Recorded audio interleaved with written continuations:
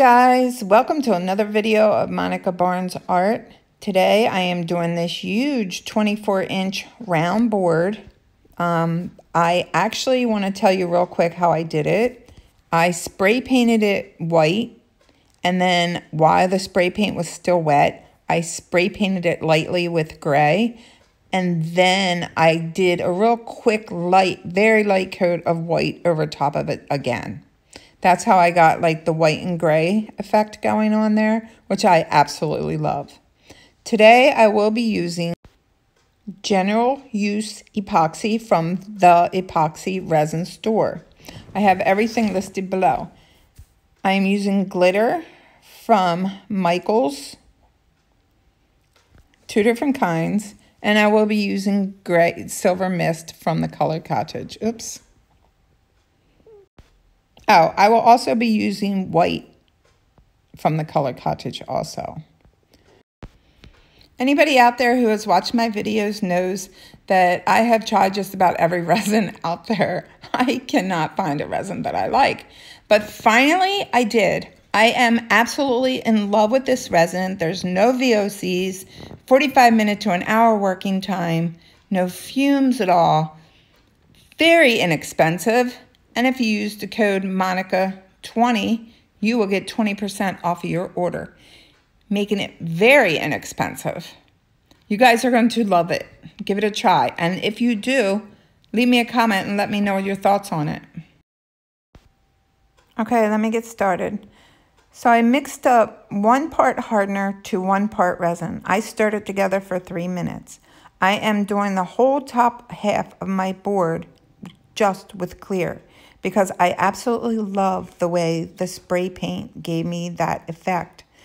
I love that look and I want to keep it. So just by putting clear on top, it will keep that look.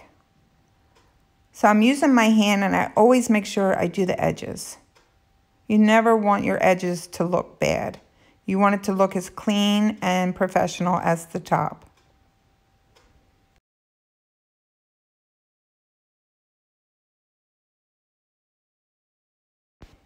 I'm not worried about where I spilled the silver because that's where it's going to go anyway. So right now I'm just pouring the silver on. And I will mix up some white also. And I'm mixing up sparkly white from the Color Cottage. Again, just rubbing it in with my hands.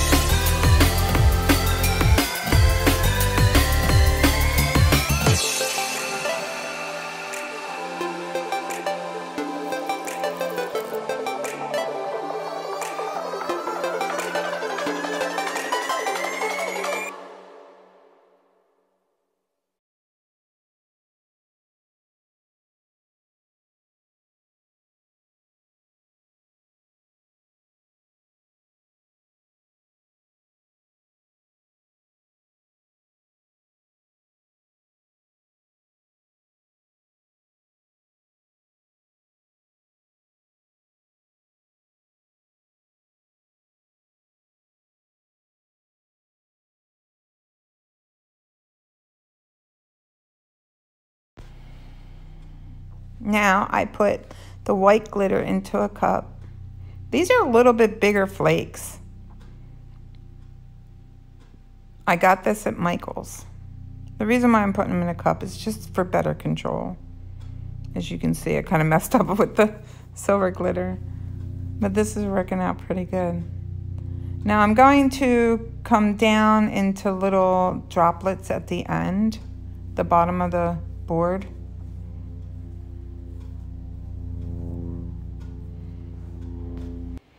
I definitely should have brought my camera closer, but I wasn't even thinking. I was just so into my art piece.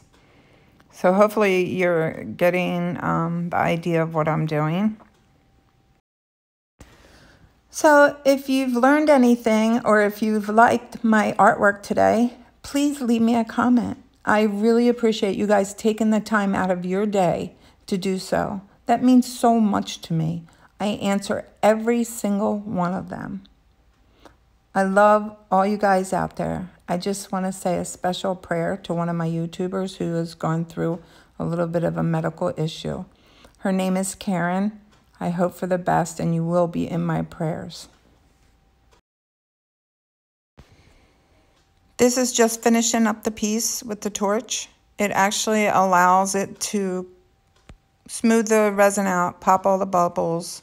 I really don't want the resin to move too much, so I'm doing a quick torch.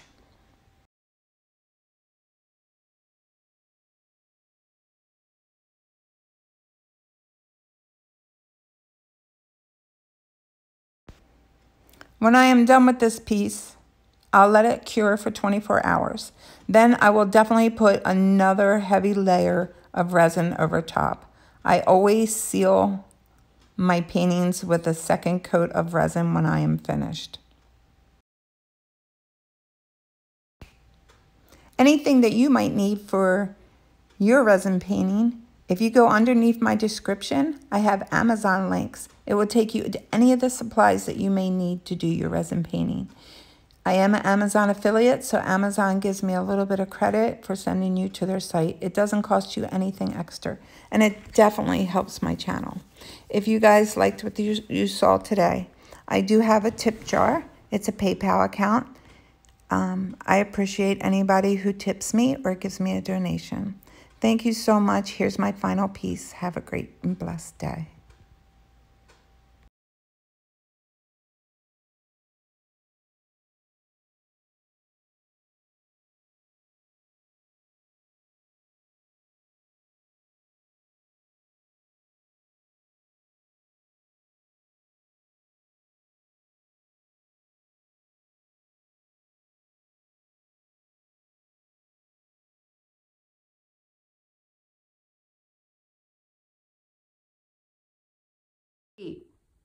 Come here.